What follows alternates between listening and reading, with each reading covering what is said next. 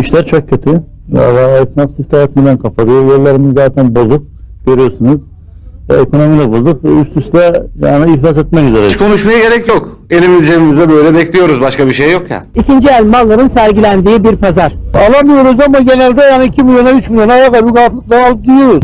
bir çift ayakkabı nereden baksan 70-80 milyon liraya çıktı artık. Buna alacak gücümüz de olmadığına göre eski ayakkabı bakıyoruz.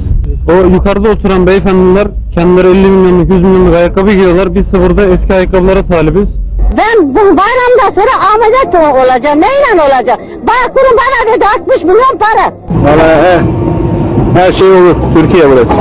Günde 3 tane 4 tane simit yiyoruz. O da yapıyor 1 milyon. 800-900 bin lira. Eskiden 400 bin lira simit yiyorduk. Şu anda 1 milyona yiyoruz. Yeme, boykot et. Yani çok mu önemli simit yemen? Bir simit 200 olursa artık düşünün siz. Değil mi?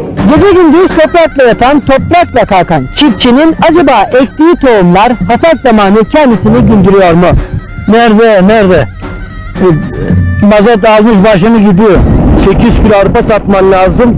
1 kilo mazot için. Bir tüp olmuş 13. 13,5 milyon. Ha, de, alamadım tüp. Aygazında yanmıyor bugün. Ne konuşacağız? İşte yokluğu konuşuyoruz. Valla hep dar geçinmeyi konuşuyoruz. Başka bir şey konuştuğumuz yok. Şu devirdeki çalıştığı değil de 3 tane adamın çalıştığı evin masrafına yine yeterli olamaz. Kim başa gelse gelsin kendi için geliyor, millet için değil. Milletvekillerine milyar alıyorlar. Biz kahvaltıya ne koyuyoruz? Koy biberi, koy yumurta, bitti. Bir peynir. Başka hiçbir şey.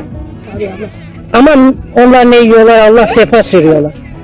Diyor sıkın kemerlerinizi. Neyi sıkalım ki?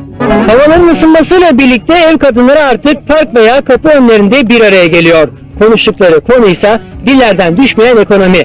Fethi Akar, Flash Haber İstanbul.